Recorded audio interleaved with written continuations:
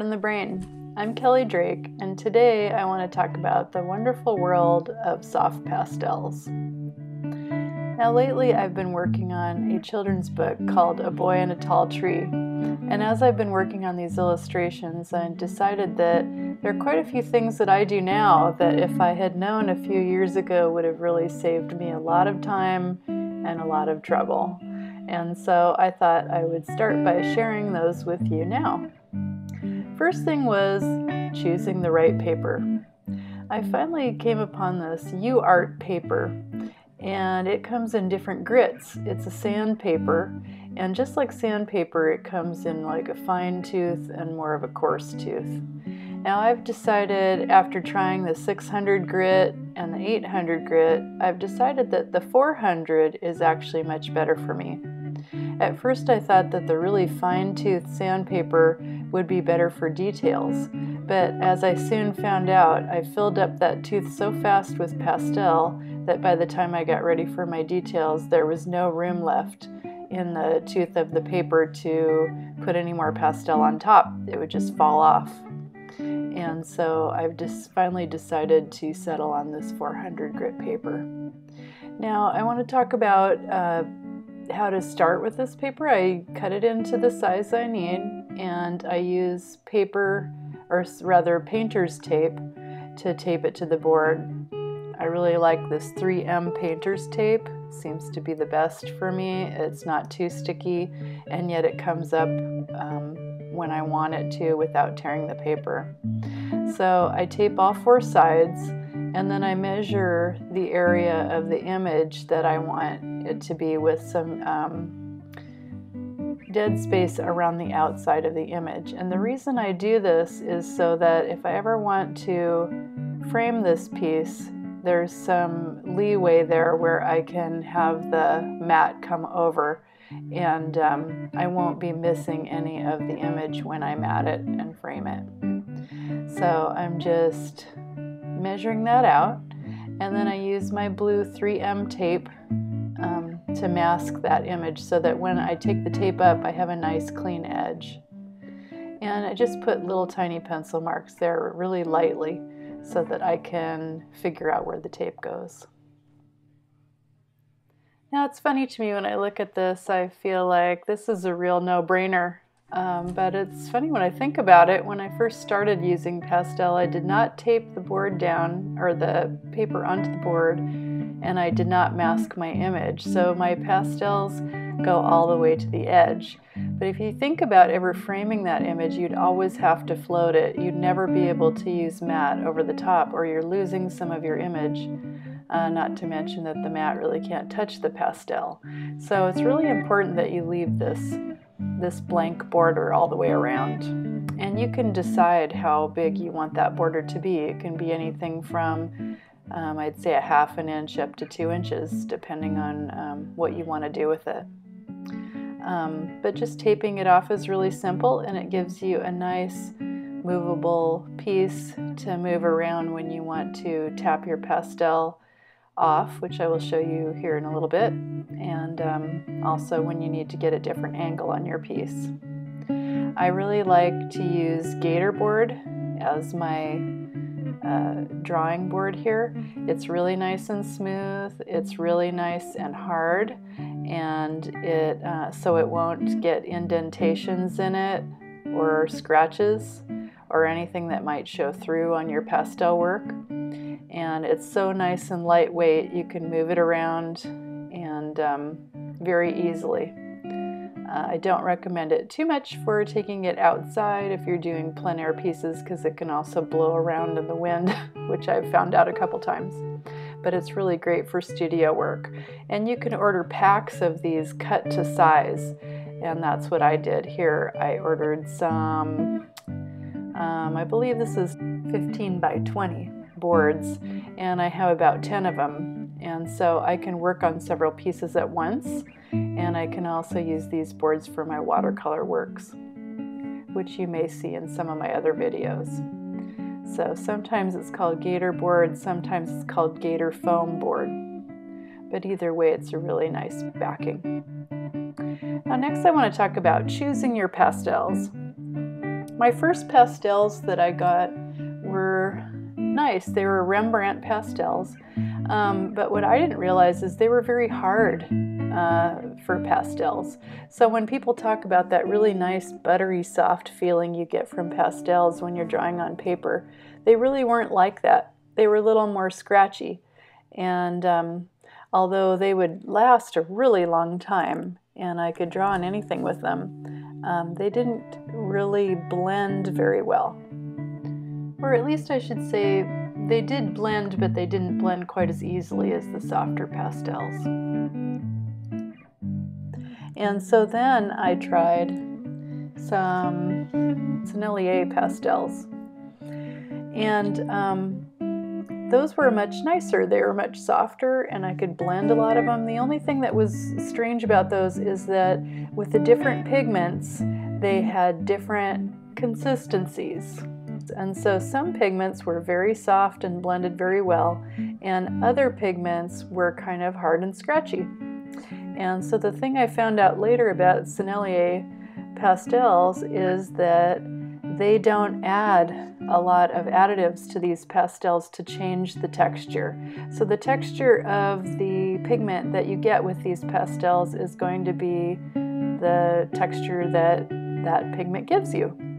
Um, other kind, pastel companies actually add um, more, uh, whatever they add, chalk or, or whatever it is, to make those pastels softer and more blendable, no matter what pigment you have. And so it's nice. Um, I really like the Sennelier pastels, but every once in a while, if I want a certain pigment to be softer and more blendable, I'll pick up another uh, kind of pastel. So um, some I've gotten some of these Unison pastels, which are very nice and soft, and also I've gotten the thin line pastels, the Diane Townsend thin line pastels, as well as Schmincke, and all those have been nice and soft and blendable. So it's up to you what you want to do with your pastels and how soft you want them. And make sure that you talk to someone who knows a lot about pastels before you pick out a brand and buy a large set, um, as I did, a couple large sets before you found out what they're really like. And uh, I think it's nice to have a set of very soft pastels and um, in lots of different tints and shades. And then you can add to that from there. I've found a really good resource is Dakota Art Pastels. And so if you look them up online, you can give them a call or ask them for a catalog. And in their catalog, they rate different pastel sets from soft to hard. Now this is a, my Rembrandt pastels, the ones I started out with that are harder, and this is something they're really good at, is making a nice clear line and uh, going over other pastel with that line. And so that comes in handy once in a while, especially if you're trying to work in some detail. Now starting out here with a, a new piece, I found that this is really helpful if I tint the background. And before I was actually tinting the background, I had seen a video on YouTube with someone I really admired and she had been using gouache um, to tint the background. But what I didn't realize is she was using gouache to create texture on a smooth piece of paper, to create a pastel painting surface. But I was painting the gouache on the sandpaper, which was really self defeating because what it did was it was filling up the tooth of the paper. And so that if I didn't have a coarse enough grit, the paper would already be full of paint. So by the time I started putting on pastel, I put on one or two little layers and it was already full. And so at that point, you can't put any more pastel on um, or it just falls off. It just uh, flakes off like sand or dust.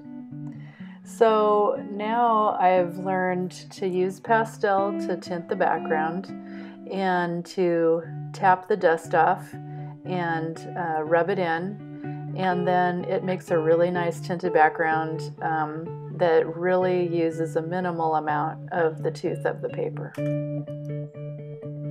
Okay, when I say tap off the extra dust, I mean have some newsprint or something taped to your table and you can tap your board just like this and get the extra dust off um, whenever you see it on there. If you put new pastel on, make sure to tap your board before you go on to blend it. And this will do a couple things. One, it will keep the dust in a safe place where you're not breathing it, so don't blow it into the air around you. And then also, it will keep the pastel from filling up the tooth of the paper too fast. Now I just want to talk about blending. Um, when I first started, I thought I wanted to blend with my fingers because that's the way I draw with charcoal, and I think of charcoal and pastel as somewhat similar. And so I would blend with my finger back and forth and back and forth until it was blended. Um, but what I learned uh, from a great teacher that I have in town here, her name is Lisa Gilly, and if you think of it, look up her artwork. It's really beautiful. Um, but what she told me was to go ahead and just use one finger at a time in one direction and then clean that finger off and then go to the next finger. And so instead of going back and forth with all my fingers and making kind of a muddy mess, now I know that I should go in one direction along the line that I want to follow with one finger and then clean that finger off. And so what I do is I keep a paper towel in my lap and I wipe each finger off as I go. And so each finger is pretty much clean uh, when I touch the pastels. I definitely don't want to transfer one color to another.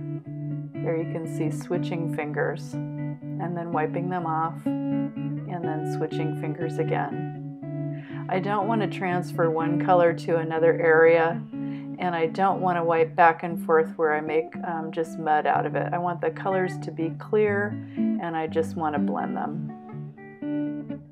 And now on to how to make corrections if you've made a mistake or if you want to change something.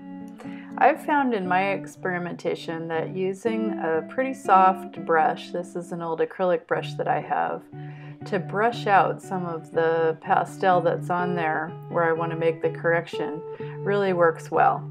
And part of the reason is because it gives me a cleaner surface on which to draw on.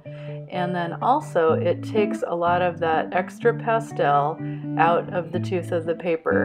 And so I'm not trying to draw on top um, yet another layer of pastel because I tend to put it on pretty thick and um, by the time I've gotten to this point, if I don't brush out some of that pastel, um, it's not going to work very well. I'm not going to still have enough tooth to add another few layers. So I use my brush and just lightly brush that area out and then I go over that area again with the colors I used originally. Like here I want to get um, some of the sky in there and like narrow that tree trunk. So I want to use the colors uh, of the sky that I've already put in there and make sure to make my strokes go in the same direction that they went before. So once you've brushed the pastel off, make sure to tap off the extra dust and then you're free to use your pastel to correct the area. And then you can use your finger to blend it into the background and this process works really well for me. It actually would be difficult uh, once it's all done to notice that that area has been corrected.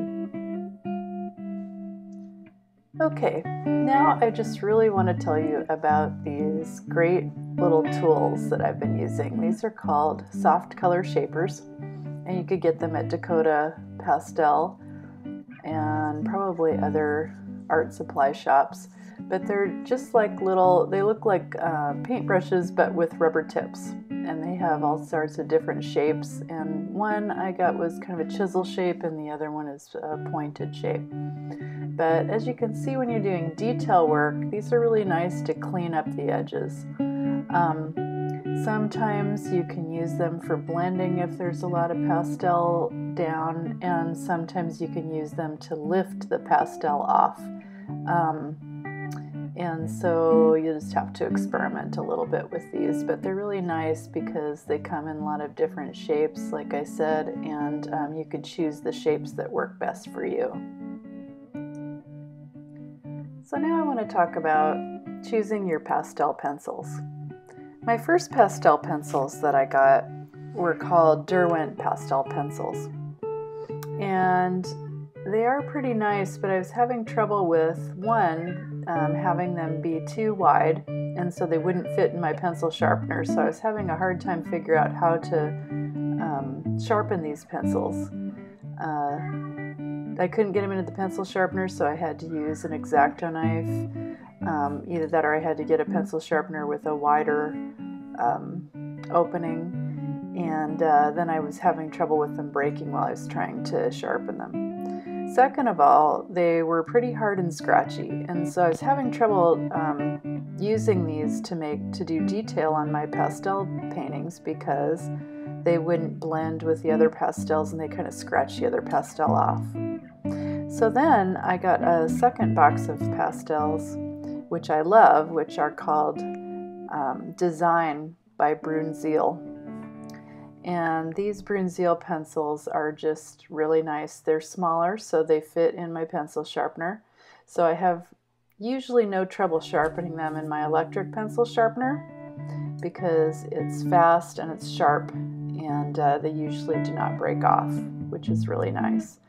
Um, also, they're quite a lot softer than the Derwent pencils, and so they work much better with my softer pastels in using them um, to do any kind of detail work. So if I'm working on a character and I need to do their hair, these are the pencils I usually go to. Also, I've had to add a few colors to my set, and so I've added a couple other brands that I also really like. Um, one is called Stabilo Carbothello.